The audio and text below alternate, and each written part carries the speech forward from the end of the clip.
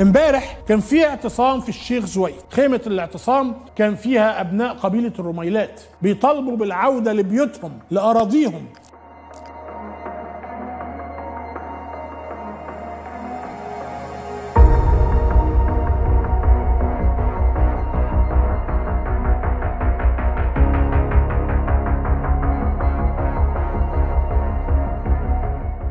كلهم راحوا كلهم جم. من المحافظات اللي متهجرين فيها. وتم منع كتير منهم إنهم يدخلوا الشيخ زويد أو يدخلوا رفح.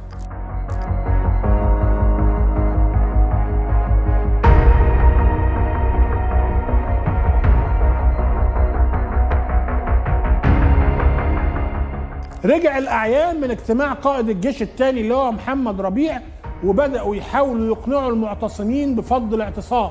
لكن الناس ما استجابوش ليهم.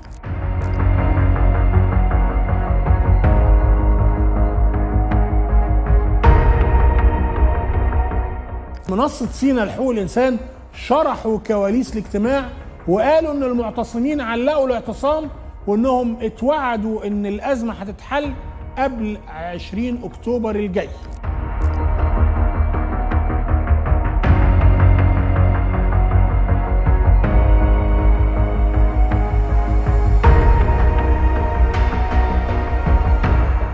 البعض كان عنده مصلحة في الكلام بشيء من من التخوين على أهلنا في سينا عن عربنا عن أهلنا ولحمنا هناك. الناس اللي ما فرطوش يوم في أرضهم النهاردة بيدفعوا الثمن النهاردة بيدفعوا ثمن تمسكهم بأرضهم.